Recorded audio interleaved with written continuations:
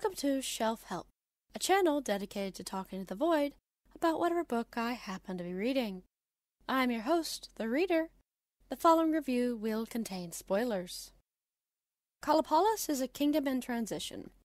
Ten years ago, a revolution ousted the Dragon Lords violently. Few escaped with their lives, and one ended up in an orphanage in the slums. In the years that followed, the caste system was replaced with a merit based testing system. People are divided into four rings iron, unskilled labor, and bronze, skilled labor, make up the bulk of the population and are the poorest. Silver and gold, made of the military, scholars, and government officials, make up the smaller, richer portion of the population. Instead of being born into a caste, everyone takes a test to prove where they best serve. All this under the guidance of the first protector and leader of the revolution, Atreus Athanatos. In his world, anyone can rise to greatness.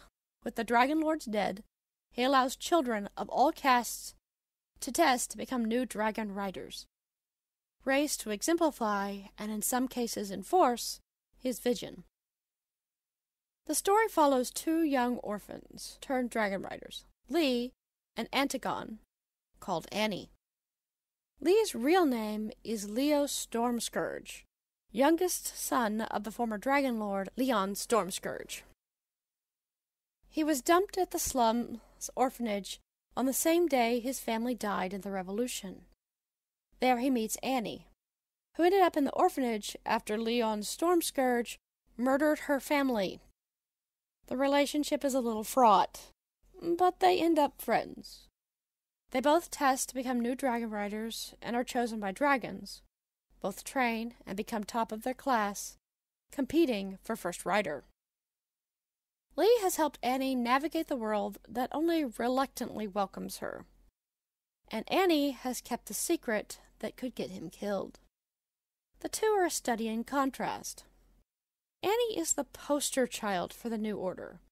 A peasant girl orphaned by the Dragon Lords, now a rider herself, competing for first rider and leader of the fleet.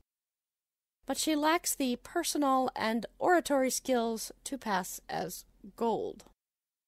Lee is the poster child they want.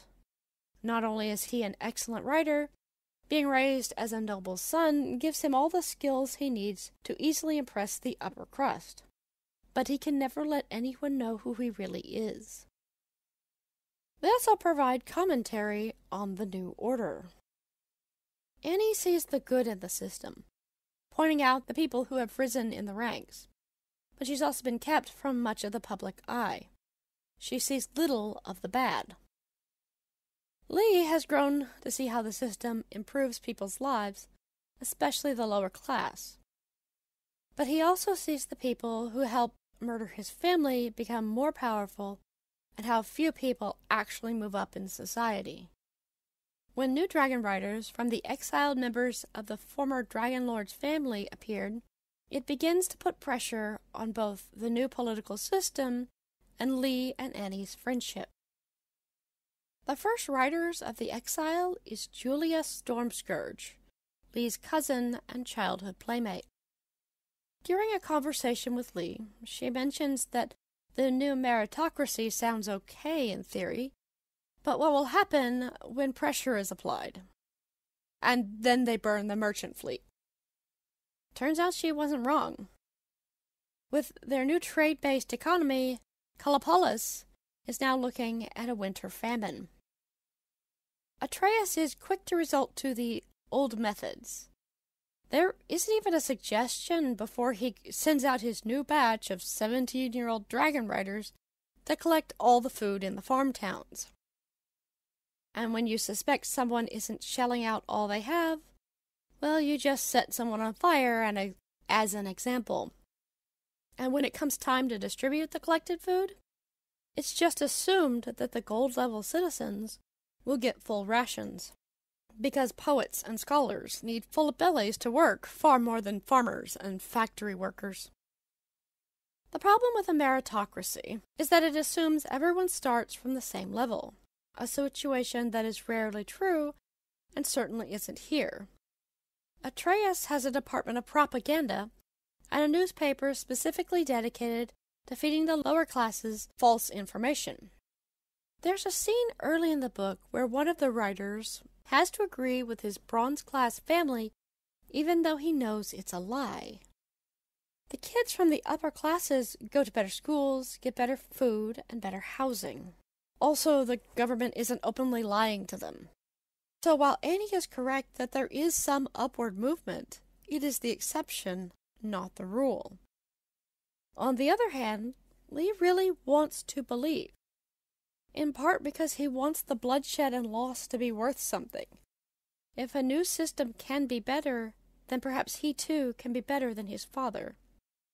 While it's only briefly touched on in flashbacks, it takes some time for him to come to terms with the kind father he remembered as the man who burned people alive as a day job. Even Annie says he wasn't vicious about it. He comforted her after her family burned. It was just his job as a dragon lord, an ugly part, but one that needed doing to ensure the peasants stayed properly cowed. And if you are side eyeing Atreus at this point, you should be. Because while he talks a good game about merit and equality, his actions speak of overthrowing the Dragon Lords to replace them with children he took from the slums and made into his private army. Not that Annie and Lee have quite put two and two together to make four yet. They're too busy having friendship drama. And thanks, I hate it. I do not like problems that can be solved over a cup of coffee. When the exiles are spotted, Lee has a moment. He has family. They're alive. They have dragons. A moment of shock is completely understandable. Annie goes from zero to treason in nothing flat. Despite stating she understands his shock, she nearly turns him in when they return, and she spends two days mad at him and then, after trying to take that anger out on him during practice, she has an epiphany that maybe he isn't getting ready to turn traitor. At no point in this sequence of events does she just talk to the boy she's known and been besties with since she was seven. You two could take a patrol together, find a nice quiet place, and have a heart to heart. Or a screaming match if you need it. This goes on for most of the book. Will Lee betray us for family? Don't talk to him about it. Assume the worst for no reason. Act like he's at fault for being caught in the middle, and generally be the worst friend possible for not talking to him.